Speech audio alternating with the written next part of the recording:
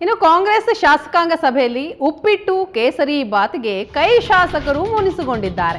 ಒಳ್ಳೆ ತಿಂಡಿ ರೆಡಿ ಮಾಡಿಸಬಾರ್ದಾ ಅಂತ ಹಲವು ಶಾಸಕರು ಪ್ರಶ್ನೆಯನ್ನ ಮಾಡಿದ್ದಾರೆ. ಉಪ್ಪಿಟ್ಟು ನೋಡಿ ದೋಸೆ ಎಲ್ರಪ್ಪ ಅಂತ ಸಿಎಂ ಸಿದ್ದರಾಮಯ್ಯನವರು ಕೇಳಿದ್ರು. ದೋಸೆ ಇಲ್ಲ, ಬರೀ ಉಪ್ಪಿಟ್ಟು ಅಷ್ಟೇ ಅಂತ ಸಿಎಂಗೆ ಸಿಬ್ಬಂದಿ ಮನವರಿಕೆ ಮಾಡಿಕೊಟ್ರು. ಸಚಿವ ಜಯಚಂದ್ರ ಕಾಗೋಡು ತಿಮ್ಮಪ್ಪ ಸೇರಿ ಹಲವರು ಉಪ್ಪಿಟ್ಟಿಗೆ ಬೇಸರವನ್ನ ವ್ಯಕ್ತಪಡಿಸಿದಂತಹ ಒಂದು ಘಟನೆಯೂ ಕೂಡ ಇವತ್ತು ನಡೆದಿರುವಂಥದ್ದು.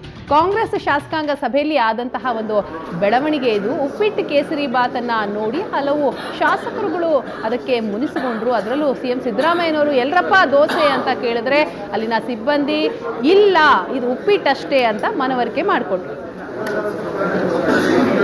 ರೇ ದೋಸೆ ಇಲ್ವೇನ್ರ ರೇ ದೋಸೆ ಇಲ್ವೇನ್ರ ರೇ ದೋಸೆ ಇಲ್ವೇನ್ರ